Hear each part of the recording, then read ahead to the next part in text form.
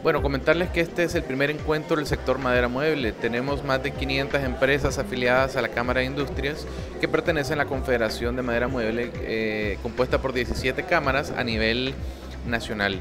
El objetivo de este encuentro es eh, crear alianzas entre los distintos eh, actores de la cadena de valor. Por eso es que tenemos a los proveedores y tenemos a los distintos actores porque eh, creemos que en la medida que logremos crear estas alianzas y estas vinculaciones, vamos a poder aprovechar el, oportunidades de negocio de las pymes de la madera mueble. Acordémonos que la madera mueble es uno de los sectores priorizados en el país.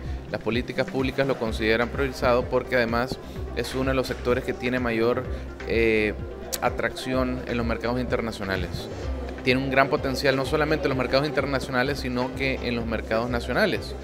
Eh, además, es un sector que ha venido creciendo significativamente. En 2016, en 2006 teníamos exportaciones por 6.5 millones de dólares y en 2016 por 16 eh, millones de dólares, teniendo en 2014 un repunte de 20 millones de dólares. Entonces es un, mercado, es un segmento que está en franco crecimiento. Pero también hay que mencionar que es un segmento que tiene grandes retos y como Cámara de Industrias eh, queremos apoyarlos a asumir esos retos para que el mercado pueda tener eh, y las empresas puedan tener mayor calidad, puedan encadenarse con, la industria y con empresas más grandes y que pueda seguir eh, creciendo y contribuyendo a la economía nacional y generando empleo.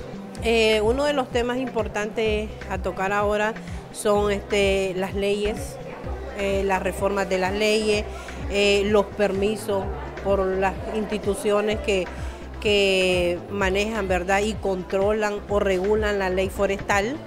Eh, son puntos claves de hoy, ¿verdad? Porque estamos en un momento que está la ley forestal, que está la ley de veda, donde son dentro de la ley de veda están especies que no se pueden tocar y son especies que son muy trabajables porque son especies que se trabajan productos para exportar, incluso para exportarla en materia bruta pero eh, hoy, ¿verdad? Este, uno de los objetivos es eh, tener eh, un reconocimiento de que no solamente podemos trabajar ese tipo de especies que están dentro de veda, porque dentro de los bosques existen otras especies que sí podemos aprovecharlas y son diferentes ah, y no están dentro de, una ley que las proteja y son, son bosques naturales.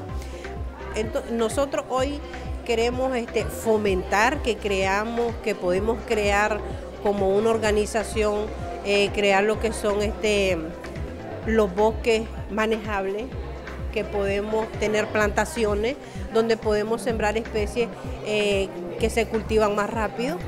Estamos viendo esas maneras, ¿verdad? ¿Para qué? Para dar lugar a, que nuestros bosques se regeneren. Ese es algo muy importante. Y también, ¿verdad? un punto muy importante también, que un llamado, que no solamente haya restricción o, que se aplique una ley para nosotros, somos pequeños, porque también existen importadores, industrias muy grandes que exportan tanto el producto como la materia en bruta, especies que están dentro de la veda. Y que si hay una restricción, que sea para todos no solamente para nosotros. Y nosotros somos un, eh, un, gremio productivo que damos un valor agregado a la madera. Y nosotros estamos viendo la manera y crear y incentivar que seamos responsables, ¿verdad?, con nuestros recursos naturales.